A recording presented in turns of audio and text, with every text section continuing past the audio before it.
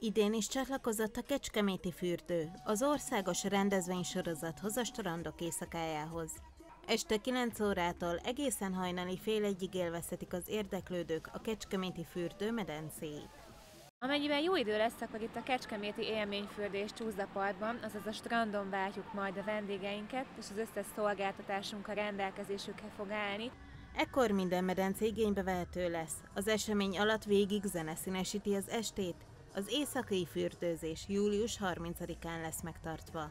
Ki szeretném emelni mindenféleképpen, hogy az idei évben is szombati napon kerül sor a strandok éjszakájára, ellenben a kecskeméti éjszakai fürdőzésekkel, amelyek egyébként a pénteki napokon szoktak lenni, tehát erre felhívnám mindenkinek a figyelmét, hogy július 30-án szombaton lesz a strandok éjszakája.